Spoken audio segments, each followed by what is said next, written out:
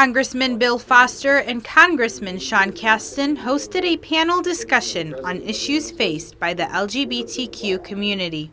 Um, just that, uh, that we're partway along uh, a difficult and continuing path in this country. That, you know, things are better in the suburbs, things are not perfect. And that it's never going to be easy for someone uh, struggling with their gender identity, and they deserve support from the community and not uh, being pushed aside or ridiculed. About 40 Naperville residents attended the event at DuPage Unitarian Universalist Church. Executive officers from 360 Youth Services and Youth Outlook talked about the resources they offer for LGBTQ youth.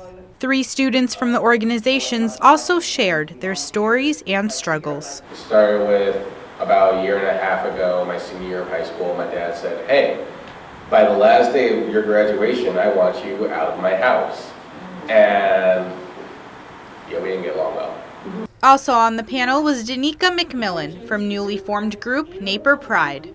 She spoke about inclusionary family events like movie night that they will begin hosting. Congressman Casten feels positive progress is being made. And getting people to understand that we are we are so close. I mean, if we could pass the Equality Act into law and get Trump to sign it, now think about how insane that sentence is, right? Um, but sometimes the way to do that is with a lot of political pressure. So getting people to understand how close we are in some of these things and making sure we do, we keep pushing. The panel ended with a Q&A session. Reporting for Naperville News 17, I'm Aisha Ashley Hausa.